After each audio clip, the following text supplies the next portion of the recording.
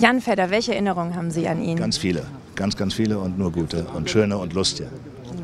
Sie, Sie, ganz viele Leute sagen, sie verbinden so viel Lustiges mit ihm. War er ein, ein sehr freudiger Mensch? Er war ein sehr freudiger Mensch, er war noch freudiger als ich und das wird schon was heißen. Wenn Sie ihn mit drei Wörtern beschreiben würden, welche wären das? Ach, da gibt es so viele Wörter. Ich glaube, da reichen drei nicht aus. Ich sage mal nur eins, Kumpel. Punkt.